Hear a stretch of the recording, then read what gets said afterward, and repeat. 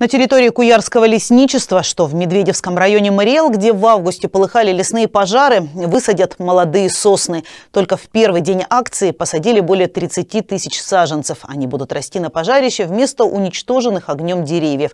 Посадки проходят в рамках экологического субботника «Зеленая Россия». Принять участие может любой желающий.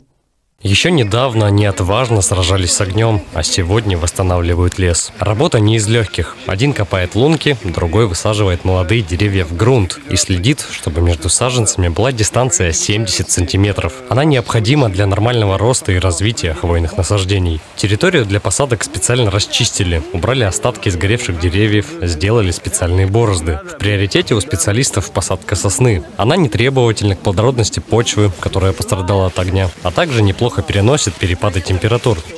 Согласно новым правилам лесовосстановления, у нас э, мы должны обеспечить баланс выбытия, э, э, то есть вырубленных насаждений погибших 100% в течение двух лет с момента их гибели и с момента их вырубки.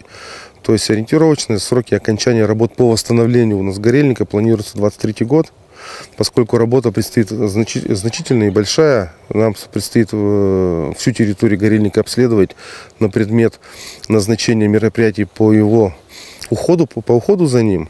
То есть где-то вырубить надо полностью насаждение, где-то вырубить частично, где-то вообще не трогать. Вот. В зависимости от этого будем разрабатывать уже мероприятия по лесовосстановлению. Среди участников волонтеры, студенты, воспитанники интерната, сотрудники МЧС, министерств и просто неравнодушные люди. Работают сплоченно, все вместе. Акция проходит до 3 октября. К этому сроку отдельные участки территории учебно-опытного лесхоза одного из марийских вузов должны быть засажены. Помочь может каждый. Для этого надо позвонить по телефону Министерства природных ресурсов, сейчас вы видите его на экране, и зарегистрироваться в качестве добровольца. Цель лесного хозяйства для нас – это выращивание высокопродуктивных насаждений. И именно лесные культуры нам могут в этом помочь. Кто-то говорит, что это слишком долго, да, тоже постоянные вопросы. Но если мы не сделаем этого сегодня, то даже и через 80 лет мы на этом участке ничего не увидим.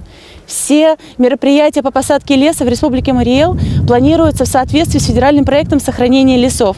И что я хочу сказать, каждый участок, каждый участок будет восстановлен.